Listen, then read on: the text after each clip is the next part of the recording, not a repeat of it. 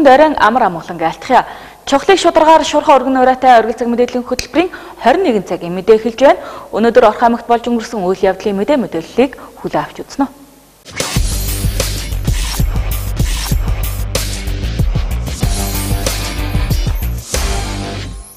Австрали улсаас Монгол улсад суугаа элчин сайд Жон Лангтри тэргүүтийн алтны хүмүүс өнөөдөр Орхон аймагт ажиллалаа.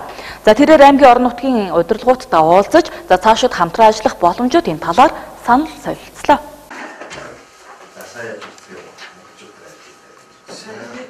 Австрали улсаас Монгол улсад суугаа элчин сайд Жон Лангтри тэргүүтийн албаны хүмүүс өнөөдөр Орхон аймагт ажиллалаа.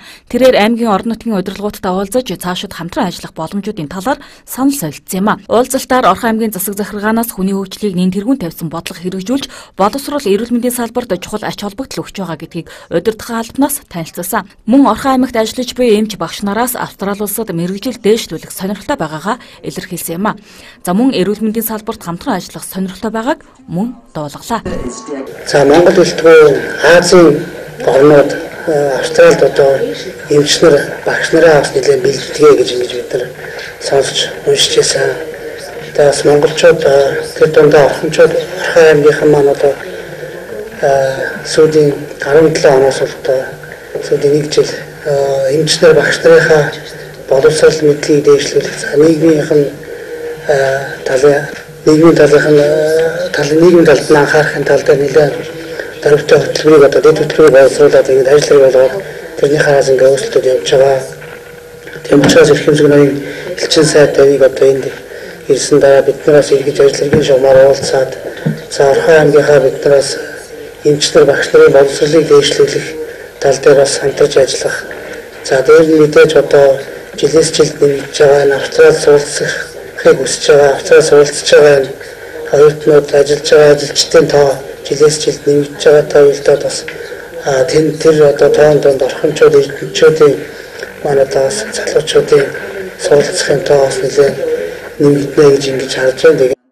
За харин Австрали улсаас Монгол улсад суух элчин сайд Жон Лангтре за Австрали улсын эрдэмтэд уман хүзний хорт тавдрын эсрэг бүтээсэн вакциныг манай аймагт нээлүүлэх боломжтой гэдгийг илэрхийллээ. Манай аймгийн тухайд уман хүзэн хорт тавдраар өвчлсөн 142 эмэгтэй байдаг бөгөөд орон нутгийн эрүүл мэндийн газар засаг захиргаанаас 3 3 жилийн хугацаанд эрт илрүүлгийн шинжилгээнд эмэгтэйчүүдийг хамруулж урьдчилан сэргийлэх заавар зөвлөмж зэргийг өгч ажилтдаг юм а.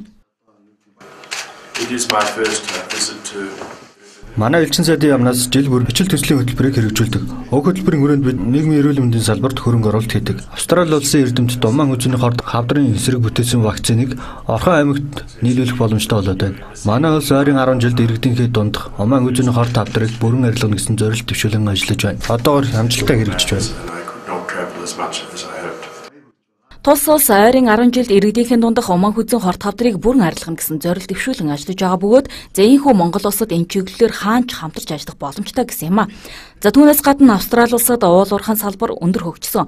За энэ талаар төрөөс баримтлан хэрэгжүүлдэг бодлого сайн туршлагаас суралцахыг хүсэж байгаагаа засаг даргын тамгын газрын дарга соёлч хэллээ. За учир нь тус улсын элчин сайдын ажлын хэсгийн бүрэлдэхүүнд Австрали улсын худалдаа хөрөнгө оруулалтын газрын бизнес хөгжлийн менежер хамт ирсэн бөгөөд ийхүү хамтарч ажиллах боломжтой гэж үзсэн чиглэлүүдэд тодорхойлсон уулзалтыг хийсэн юм а. За тиймээс албан ёсны хамтын ажиллагаа удахгүй эхлэн гэдэгт итгэлтэй байгаагаа талуудын төлөөлөл онцоллоо. Мөн Австрали улсаас Монгол улсад суух элчин сайд Жон Джон Лангтри оюутан залуучуудад тус улсаас олгох тэтгэлийн талаарх мэдээллийг өгсөн юм а. 32 million tons of ore per year Сүүлийн үед Орхон аймгийн ард иргэдийн дунд цусан суулга өвчний дэгдэлт нэмэгдэх хандлагатай байна. За энэ өвчнөр бүх насныхан өвдөх эрсдэлтэй бөгөөд за халдвартай хүнтэй гар байрах, хамт байх зэргээр дамждаг тул за эрүүл мэндийн байгууллагаас урьдчилан сэргийлэхийг анхааруулж байна. За энэ өвчин амбулаторийн нийт үйлчлэгийн эхний 6-ад эрэмблэгдэж байна.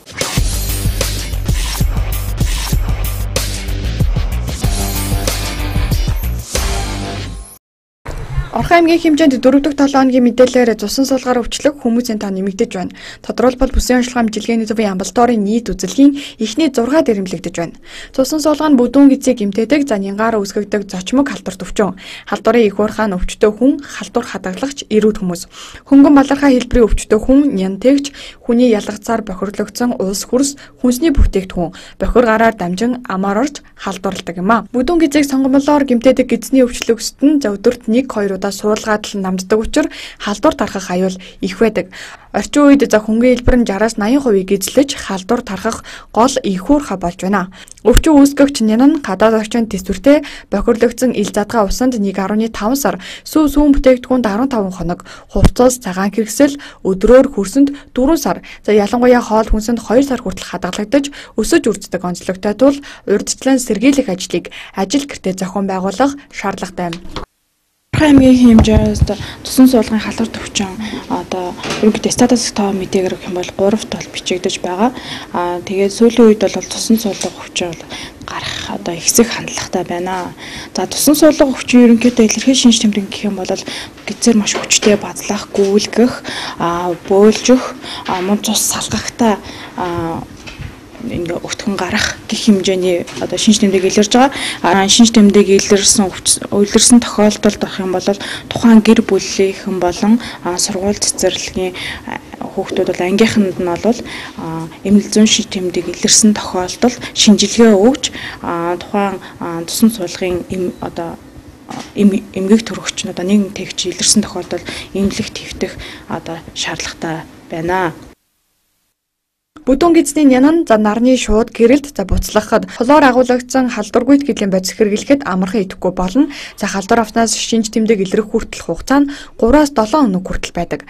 Халуурах за дүүлүүлж цус залхагтай суулгах, гидс бадлах, бөөлжөх, толгоо өвдөх зэрэг шинж тэмдгээр илэрдэг. Өвчний эхний шинж тэмдэг илэрсэн тохиолдолд цэцэрлэг сургуультай явахгүй байх, хоол хийхгүй байх, эмчийн зааваргүй антибиотик хэрэглэхгүй байх шаардлагатай. Эхний шинж тэмдэг илрүүл за харьяа эрүүл мэндийн төвд хандахыг анхааруулж байна анхан шатан сэргийлэхийн тулд гарын ариун цэврийг сайдэр сахиж эрүүл ахуйн шаардлага хангахыг анхааруулж байна. За учир нь энэ өвчин бохир зүйлээс халдварлах магадлал өндөр байдаг юм. Алдарт ихийн 1 2 дугаар одонтой эхчүүдэд төрөөс жилд нэг удаа олгодог. За мөнгөнд тэтгэмжийг сар шинийн өмнө олох уугүй гэдэг нь иргэдийн дунд хүлээлт үүсгээд байна. За одонтой ээжүүдийн мөнгө журмынхаа дагуу тухайн жилийн 1-р улирал буюу за 3 дугаар сарын 8-наас өмнө олгогдсон байх ёстой байдаг. За тиймээс аймгийн хөдөлмөр халамж үйлчлэгээний газраас бичлэлтийг хийж эхлүүлээд байна. Алдарт ихийн 1 2 дугаар одонтой эхчүүдэд жилд нэг удаа төрөөс олгодог тэтгэмжийн мөнгө цагаан сарын өмнө олох уу үгүй юу гэдэг нь иргэдийн дунд хүлээлт үүсгэж байна. За сошиал ертөнцид ч гэсэн ээжүүд одонгийн мөнгийг хизээ олгох талаар асууж сурч байна. За одонтой ээжүүдийн мөнгө журмынхаа дагуу тухайн жилийн 1-р улирал буюу 3 дугаар сарын 8-наас өмнө олгогдсон байх ёстой байдаг. Гэвтэл одоо хүртэл ямар нэгэн сураг байхгүй байна. За энэ жилийн тухайд манай аймагт нийтдээ 5899 ээж одонгийн мөнгө авах бол шинээр 150-аас 180 их бүртгэгдсэн байна. За мөнгө олгох журманд 6 хүүхэдтэй 1-р зэргийн одонтой ихэд 200 мянган төгрөг, 4 хүүхэдтэй 2-р зэргийн одонтой ээжид 100 мянган төгрөг өгдөг. За мөн тэгээс 3 настайд нь хүүхэд үрчилж аваад хүүхдийн тоо 4-өөс дээш байвал одонтой эхчүүдийн халамжинд хамрагддаг болсон. За ямар тач санхүүжилтийн талаар сураг гараагүй байгаач одонтой ээжүүд харьяа багийнхаа ажлын албан дээр бичлэлтэй хийлгэх хэрэгтэй гэдгийг холбогдох байгууллагаас мэдээллээ а жил бүр одоо харилцаа адилгүй байдаг зарим жил одоо тий сар шинийн баярын өдөр зарим жил одоо мартин ам буюу тий эмгтээчүүдийн баярын өмнө ордог. Улсын төсөөс ордог санхүүжилт маань а энэ жилийн хувьд бол яг бас тодорхойгүй байна. Гэхдээ бид нар одоо тий цагаан сарын өмнө орохыг орохыг одоо үүсэх аргагүй гэж одоо бид нар өнгөрсөн нэгд өдрөөс саяны нэгд өдрөөс буюу 29-ны өдрөөс баг спорт дээр одоо ингээ бичлэлтэй хийгээд хэлсэн байж байгаа. За өнөөдрийн байдлаар бол 5899 ээж байж байна. Үүнээс 1-р одонтой 1791, 2-р одонтой 4108 их өнөөдрийн байдлаар бол манай дээр бүртгэлтэй байна. А ер нь жилд бол дунджаар нэг 150-аас 180 их бүртгэл бүртгэгддэг байж байгаа. А шинээр бол нэг 120-аас 150 их одоо авдаг бол одоо өөр орон нутгаас шилжиж ирсэн нэг тий 30 орчим их одоо манай Одонтой ээжүүдийн мөнгө журмынхаа дагуу тухайн жилийн 1-р улирал буюу 3 дугаар сарын 8-наас өмнө олгогдсон байх ёстой. Тиймээс манай аймгийн хөдөлмөр халамж үйлчлэгээний газраас сар шинийн өмнө олгогдож магадгүй гэсэн байр сууриас бишилтийг хийж эхлүүлсэн байна. За одонтой эгчүүдийн мөнгийг улсын төсвөөс санхүүжүүлдэг учраас төсвийн бүтэц гол нөлөө үзүүлнэ. За сангийн яам одоогоор нийгмийн халамж үйлчлэгээний ерөнхий газарт ямар нэгэн мэдээлэл өгөөгүй байгаа юм. Журманд заасны дагуу сар шинийн баяр цаашлаад олон улсын эмэгтэйчүүдийн баяраас өмнө одонгийн мөнгийг өгөх байлгүй хэмээн холбогдох албаныхан үзэж байгаа юм ба. Тэг 3 цаг хүртэл арх худалдан борлуулах зөвшөөрөл олгосон аж ахуй нэгжийн заримынхан зөвшөөрлийг төр хугацаагаар цуцалсан. За тодорхойлбол цэнгэний газар буюу баарыг тэг цаг хүртэл за бусад караоке дэлгүүр нь хуучин цагийн хуваарийн дагуу ажиглаж байгаа юм а. За ихэвчлэн залуучууд үйлчлүүлдэг том зай талбайтай газарт олон хүн цуглаж за зодтолтод танхаарах гэмтэрэг гарах нь их байдаг учраас энэхүү баарыг тэг цаг хүртэл ажиллуулж байна. За гэтэл баар 12 цагт хаадаг босноос хойш 7 хоногийн цагдаагийн газрын мэдээнд согтуугаар тээврийн хэрэгсэл жолооцсон зөрчил 5-аар нэмэгдсэн байна.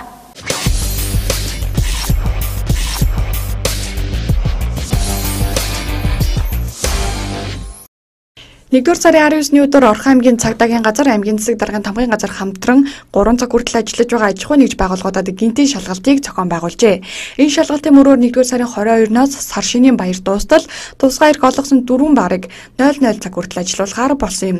Энэ нь цаг агарын зочир хүүтрэл болон цагаан сарын баяртай холбоотой гэсэн тайлбарыг өгсөн.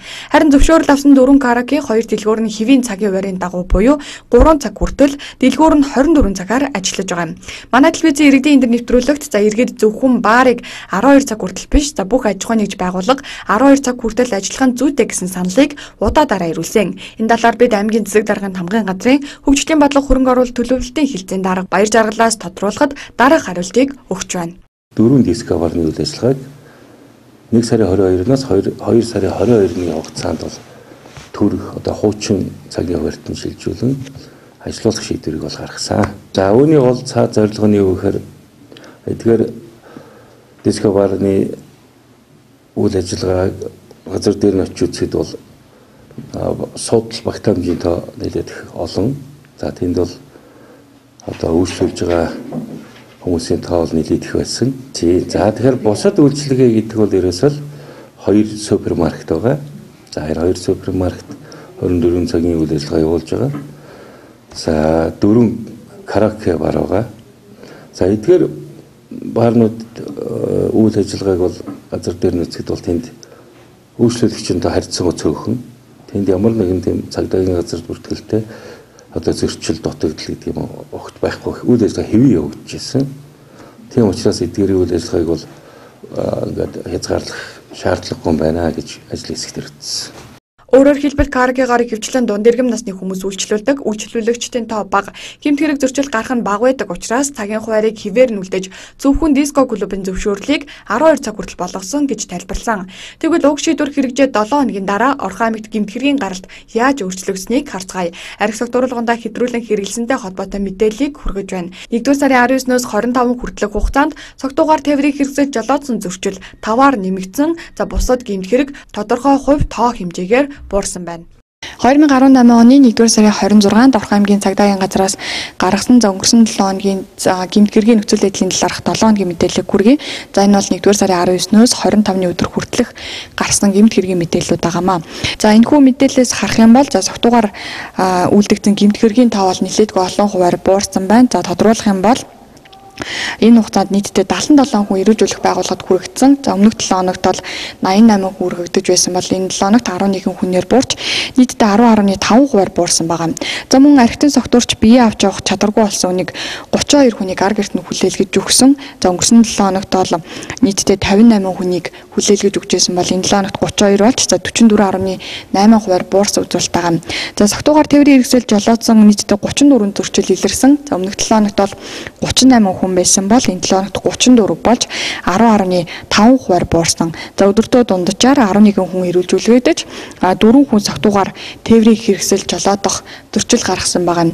За энэ мэтчлэн яг 7 хоногийн хугацаанд гэх юм бол согтуугаар үлдэгдэх гэмт хэрэг за бүх төрөл дээрээ бол буурсан үзүүлэлт харагдаж байна. За мөн одоо иргэдийн амгалан тайван байдлыг алдагдуулсан гэсэн дуудлага мэдээлэл бас буурс үзүүлэлттэй байна. Тодруулах юм бол бусдын амгалан тайван байдал алдагдуулсан за гудамж талбайгаас бол нийтдээ 8 боч буурсан байна. Өнгөрсөн 7 хоногт 21 байсан бол за 13-аар буурч байна. За ахын хүрээнээс гэх юм бол нийтдээ одоо 30 37 ийм зөрчил илэрч байсан бол өмнөх 7 хоногт за энэ 7 хоногт 30 болж за 7 ширхгээ буурсан. За аж ахуйн нэгж байгууллагын хувьд за энэ 7 хоногийн хувьд өссөн үзүүлэлттэй гарсан байна. За гих мэдчлэн яг архитын согтуурхтай холбоотой 7 7 хоногийн мэдээлэл харьцуулан харахад за баар ажиллууснаас хойших 7 хоногт бол архитын согтуурхтай холбоотой гэмт хэргийн мэдээлэл бол буурсан байгаа нь за энэ хүү том мэдээллээс харагдаж байгаа юм. Орхон аймгийн хэмжээнд шөнийн цагаар 4 бар 2 дэлгүүр 4 караоке ажиллах зөвшөөрөлтэй. Харин өнгөрсөн 7 хоногийн хугацаанд 2 дэлгүүр 4 караоке ажиллахад архитектын согтурхтай холбоотой гэмт хэрэг буурсныг дээрх тоноос эргээд харсан баг. Энэ бол 7 хоногийн л том мэдээлэл. За Барикас нь 7 хоногийн хугацаанд энэ төрлийн гэмт хэрэг ийм хэмжээнд буурч байгаа юм чинь шөнийн цагаар ажиллаж байгаа бусад аж ахуйн нэгж байгууллагыг хаавал гэмт хэргийн гаралд бүр чихээр буурах боломжтой байгаа нь энэхүү тоноос харагдаж байна. Тиймээс зэрэгэд 3 цаг хүртэл үйлчилгээний байгууллага ажиллахыг эсэргүүцэн манай телевизийн иргэдийн эндэр нэвтрүүлэгт гомдол мэдээлэл гаргасаар байгаа юм. Орхон аймгийн Ахмадын зөвлөлийн тэргүүнийг сонгох сонгуул энэ сарын 31-ний өдөр болно. За энэхүү сонгуулийг Ахмадын төлөөллийг хангалттай хэмжээнд оролцуулахаар зохион байгуулж чадахгүй байна хэмээн зарим төлөөлөл үзэж байна. За тиймээс хэвлэл мэдээллийн байгууллагад хандаж Ахмадуудыг энэ хуралд идэвхтэй оролцож за өөрсдийн оролцоог хангаж удирдах албаныхыг сонгохыг уриалж байна.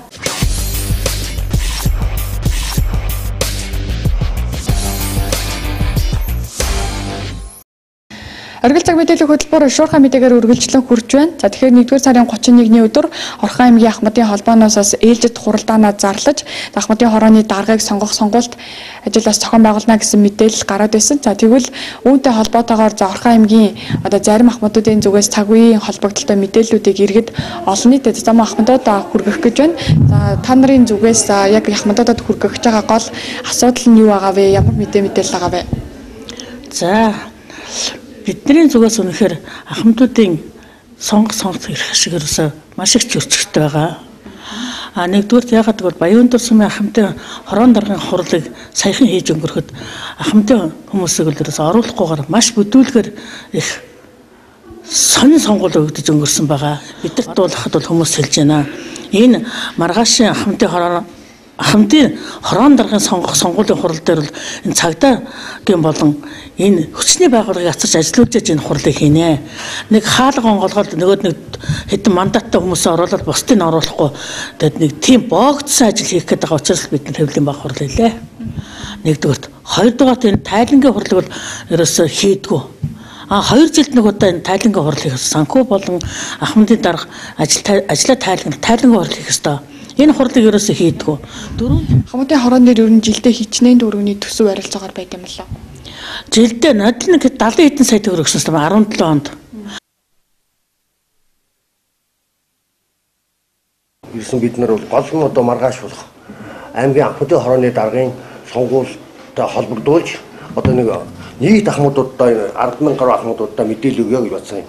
За энэ ахмадын хурал бол баг багаас эхэлж сонгогдсон байгаа 15 хүнийг мандат юу 15 хүндээ мандаттай гэсэн ийм нэг юу ягаад одоо манай булаг баг гэхэд 500 гаруй ахмадтай 500 гаруй ахмадаас дөнгөж 15 хүн л одоо энэ сонгуульд оролцох хэрэгтэй болж байна. Бусд нь бол ерөөсөө орох эрх байхгүй. А тэгээ мандаттай гээд ингээ оруулдгүй. Ийм учраас би маргааш нийт ахмадуудаа өөрснөө ирж өөрснөө үжил бодлын төлөө одоо энэ аймгийн горнос хөлийн ордонд өглөөний 10 цагаас бол даргын сонгох сонгуул дээр ирж оролцоош гэж уриалан дуудаж байна.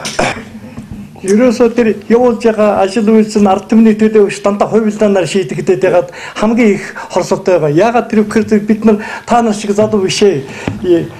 Ер нь эднэрийн явуулж ирсэн арга зам бол их муухай байж байдаг. Эхлээд хүнийг игүүтгэж гүжирддэг. Гүжирснийхээ дараа хэлмэгдүүлдэг. Хэлмэгдүүлснийхээ дараа шоронд хийдэг. Ийм заншилтай. Одоо ч гэсэн манай энэ тим явдал гарах гэдэг шиг байна.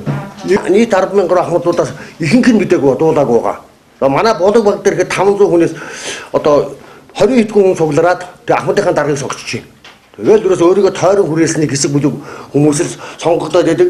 Нэг намын дарга Ахмадын дарга сонгох гээд байгаа мó? Эсвэл одоо бүр аймгийн 100000 хүнийг төлөө эрх ашигын төлөө тэмцэх шаардлагатай тийм даргаа сонгох гээд байна уу? Энийг бол бид нар ерөөсө ойлгохгүй болчиход байна. Тийм хоёр нам болгож хуугаагүй. Нэг нам нь дарангуйлаад байгаа. Нам гэж ярьж байгаа юм биш. Ард түмнийхээ нэрийг энэ ард түмнийг яхаар ингэж нохой болгож дарлаад байгаа юм. Яхаар ингэж доромжлоод байгаа юм. Яхаар зэрэг ингэж хагаралдуулаад байгаа юм. гэж хэлж байна шүү дээ. Ерөөсөө. Тэгээд 100 хэдийн юм 200 хүний тийм байхгүй 20 хэдэн хүн сонгочод байна шүү дээ. Тий.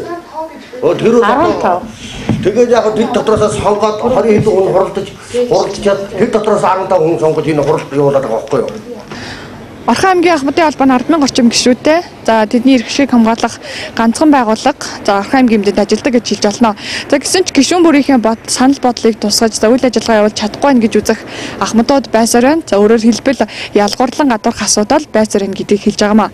Тийм учраас 4 жил нэг удаа болдог за ахмадын даргаыг сонгох сонгуульт ажилдаа бүх ахмадуудыг идэвхтэй оролцож өөрсдийн санал бодлоо тусгаж за ирэх жилүүдэд одоо ахмадуудын санал бодлыг тусгасан бодлого явуулахад анхаарч ажилласаа гэж үзсэн үднээс Тиймээс Орхон аймгийн хэмжээнд байгаа бүх ахмадуудыг энэхүү хуралд идэвхтэй оролцож өөрсдийн санал бодлыг тусгуулаасаа хэмээн уриалж байгаа юм а. Оргил зэм мэдээллийн хөтөлбөр үзэж та бүхэнд харилцагч байгууллагуудаас ирсэн мэдээллээр үргэлжлэн хүрч байна. Монгол хүний уламжлалт царшныг өгтөж, Монгол уламжлал, Монгол чанар, Монгол хүний ур ухаанаар урлагдсан уран нарийн хийцтэй жинхэнэ Монгол брэндүүдийг нэг дороос худалдаа авах хамгийн өргөн төлөрсөн сонголтыг эрдэмтдчүүдээ өргөн барьж, үйлчлэгээний төвийн үлдэт болог худалдааны төв энэ сарын 28-наас 2 дугаар сарын 21-нд дуустал хямдрал урамшуулалтай бас бэлэгтэй худалдаагаа дарснаа дуулгаж байна. 22 жилийн баялаг туршлагатай үлдэт болог худалдааны төвийн савхин эдлийн тасагт 18 оны шин загварын савхин дэлнүүд саршны босгон дээр 10% хямдралтаагаар худалдаалагдж байгаа. Дархан их компани нэрийн засаг бүх бараандаа сар шинийг угтаад 10-аас 40% хямдралыг зарлжээ. За Монголын сар болсон үндэсний үйлдвэрлэгчдийн бараа бүтээтгүүнүүд үйлдвэр үнэ таны гар дээр очихоор боллоо. Та сонгоо авсан бараагаа 10-аас 50%-аар хямдруулад бас дээр нь урамшуул бэлгийг дагалдуулан авах нэ. Үндэсний үйлдвэрлэлийн тэргүүлэгч салбар салбартаа манлайлагч компаниудын бараа бүтээтгүүнүүд дасаг нэгж бүр дээр ирсэн байна. Тухайлах юм бол энэ удаагийн үзэсгэлэн хөдөлтаанд Байв компани Монгол готлнууд орж ирлээ. Үйлдвэрийнх нь үнээр хүүхдийн болон том хүний Монгол готлнуудыг та Эрдэнэтэд цор ганц худалдаалагдж байгаа үлдэт бүлэг худалдааны төвөөс сонгоо аваарай. Мөн Тод аймс компани 100% хоньны ноосон аймснууд жилетгүүд ирсэн байна. Арьс ширний салбартаа тэргүүлэгч Агни компани арьсан цүнх савхан хувцас төрөвчнүүд иржээ. Мөн Хөндөг компани Адууны арьсан гутал том хүний арьцмарын хувьд 35-аас 43 арьцмаар хүүхдийн арьцмарын хувьд 25-аас 34 гэсэн сонголттойгоор ирсэн байна. Дасаг нэгж бүртээ сар шины баярын онцгой хямдралууд явагдаж байгаа шүү. Мөн Хажуу компани, Ширэн Тилээ, Бүс, Бисүд компани, Төрөөч Дархан эрхий компани, Бараа бүтээгдэхүүнүүд, Гутал нэхий идлүүд Монголдо үйлдвэрлэж байгаа хүний эрүүл мэндэд онцгой сан хэрэгтэй улаан цэс, цагаан цэс, гуйлан цэс аягнуудыг оруулж ирлээ. Энэ удаад хамгийн өргөн сонголттойгоор байгаа гэдгийг хэлье. Цэс аягнуудын хувьд дунд жижиг том гэсэн хийж загвартай байна. Дээр нь цэс аяга сэрээ, зэс халбог, зэс бугуйвч, модон дагш, аригны хул зэрэг сонголтууд эднийд нэр төрөл олонтойгоор байгаа гэдгийг дуулгая. Үзэсгэлэн худалдааны үеэр эдгэр бараанууд 10%-аар хямдран таны гар дээр очино. Монголчуудын уламжлалт жилдээ ганц тохиох саршны баяраар Ахмад Азай бурлууд ах トゥ амраг садан амт найз нөхөд ажлын хамт олон гэд хамгийн дотн хүмүүстэй Монголын үндэсний брэндээр бэлэгэлдэж үнцний хадгалсан мэрэгэн сонголтыг та хийгээрэй. Үлзэт булаг худалдааны төвийн дасаг нэгж бүрт Монголд үйлдвэрийн бараанууд дэлгэгдэж таны ирсэн хайсан бүхний нэгд орч чуулуулж баялаг сонголтыг энэхүү үзэсгэлэн худалдаагаар дамжуулан таны өмнө өргөн барьж байгаамаа. Мөн үлзэт булаг худалдааны төвд Samsung брендийн аль биесны борлуулагч орж ирсэн гэдгийг энэ ташрамд дуулгая болгоё. Та үлдэт болог хөдөлгөөний төвийг зорион очиж сар шинийн чанартай бэлгэнүүдийг сонгоо аваарай. Ажлын ирж буй шар нохоо жилдээ илгэрийн хамгаалалтын төрлөөрөө төвшин амгалан байхыг ерөөй үлдэт болог хөдөлгөөний төвд өргөтгсөн үзэсгэлэн худалдаа 2 дугаар сарын 21-нд тусдал үргэлжилнэ.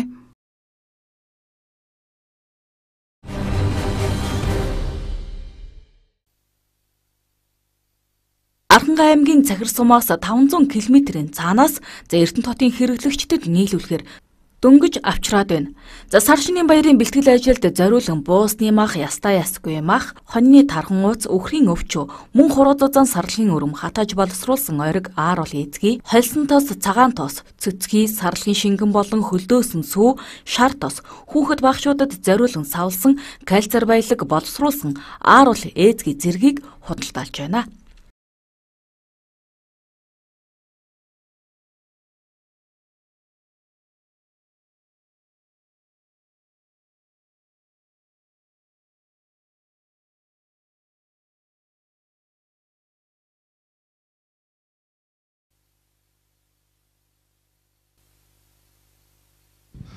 За би сая захир сум руу яваад нэг хэд хоног манай төрлөө бас жоохон зуудтай өвлөж жоохон хөндөрч байна. Тэгээ ер нь манайх ч угаасаа энэ баян дөр сумтай шип тогтоосон байгаа.